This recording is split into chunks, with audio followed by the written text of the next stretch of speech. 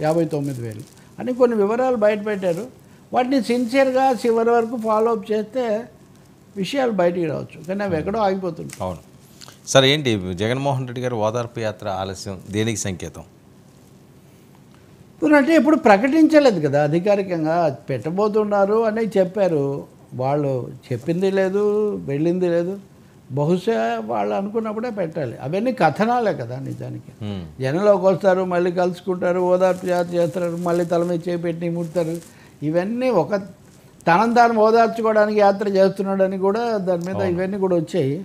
But ఖచ్చితంగా ఈ దేశంలో ఏ రాజకీయ నాయకుడు ఓడినా గెలిచినా మళ్ళీ తనను తను నిలబెట్టుకోవడానికి ప్రజల్లోకి వెళ్ళడం తప్ప వేరే మార్గం లేదు. ఎప్పుడు ఏ రూపంలో వెళ్తారు దానికి మళ్ళీ ఇంతకుముందు సిద్ధం యుద్ధం లాగా దానికి మళ్ళీ ఏం పేరు పెడతారు? ఓదార్పు యాత్ర అనే దాన్ని మళ్ళీ పునరుద్ధరిస్తారా? అదంతా మనం ఇంకా చూడాలి. ఇప్పుడు ఐపాక్ టీం ఇంకా ఉందో లేదో తెలియదు. వాళ్ళు ఇంతకుముందు ఇలాంటి పేర్లు ఇవన్నీ పెద్ద పని చేయలేదు కదా. ఇప్పుడు మళ్ళీ ఆలోచించాలి. పేర్లు ఒకటే గెలిపించాలని కూడా తెలుస్తుంది.